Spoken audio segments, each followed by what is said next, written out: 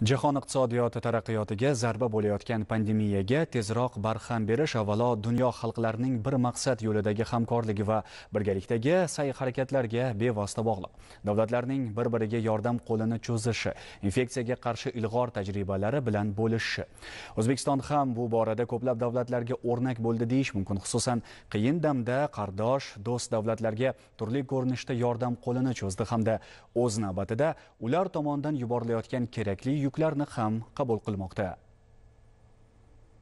Navbatdagi ana shunday yordam yuki koreya hukumati tomonidan yuborildi. Umumiy og'irligi 34 tonnaga yaqin insonparvarlik yordami o'zbekiston respublikasi sog'liqni saqlash vazirligi ehtiyojlaridan kelib chiqqan holda janubiy koreyaning yetakchi kompaniyalari va shinxan universiteti ko'magida shakllantirildi. Shuningdek ushbu reysda koryo universiteti professori syong ju yung ham covid 19 ga qarshi kurashda xalqaro ekspert sifatida o'zbekistonga yordam berish uchun yetib keldi. U 29 martdan 26 aprelga qadar mamlakatimizda koronavirus virus profilaktikasi bo'yicha maslahatchi sifatida ishtirok etgan yurtdoshim choy je uk bilan joy almashdi 지금 우즈베키스탄 정부는 굉장히 대응을 잘하고 있다고 생각을 하고 있습니다.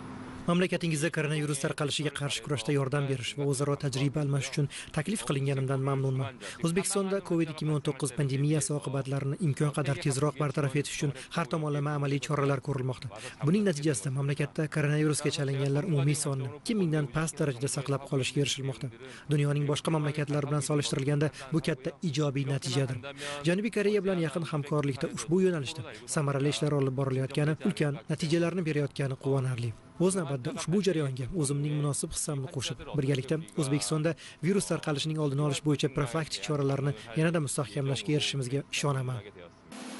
Gumanitar yuklarni ikki qismga bo'lib yurtimizga keltirilishi rejalashtirilgan edi. Ularning dastlabkisi o'zbekiston havo yo'llari aviakompaniyasining maxsus samolyotida kecha tunda mamlakatimizga keltirildi. Qiymati 900 ming dollarga yaqin 6,2 tonna og'irlikdagi yuklar tarkibidan yuqori texnologik tibbiy uskunalar avtomat mexanizmli tibbiy koykalar va diagnostika test tizimlari joy oldi. Og'irligi 27,6 tonnadan ortiq bo'lgan gumanitar yukning qolgan qismi navbatdagi charter reys bilan yurtimizga yetkaziladi.